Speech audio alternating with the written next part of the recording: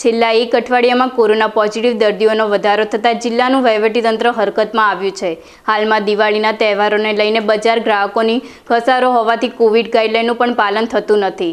એવામાં પાલનપુર અને ડીસામાં કોરોનાનું સંક્રમણ વધતા જિલ્લા કલેક્ટર દ્વારા બેઠક બોલાવી છે. જિલ્લા આરોગ્ય અધિકારી ડોક્ટર મનીષ ફેન્સીએ જણાવ્યું હતું કે કોરોનાના દર્દીઓની સંખ્યા વધતા ડીસા અને પાલનપુરમાં વધુ કોવિડ હોસ્પિટલ ઊભી કરવામાં આવશે.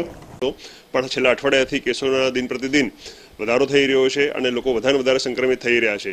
માટે કલેક્ટર સાહેબ શ્રી અને માન્ય જિલ્લા કલેક્ટર સાહેબ સાંજે આ બાબતે એક મિટિંગનું રિવ્યૂ રાખ્યું છે. કદાચ એની અંદર, ડીસાની અંદર બીજી એક હોસ્પિટલ પણ ઊભી કરવા જઈ રહ્યા છે. પ્લસ વધારામાં ભણસારી ટ્રસ્ટને પણ ફરીથી રિસંદન કરવા જઈ રહ્યા છે. એક પાલનપુર ડૉક્ટર એસોસિએશનની પણ એક અહીંયા ચાલે છે. એને પણ હવે સમય સંદન કરવા જઈ રહ્યા છીએ.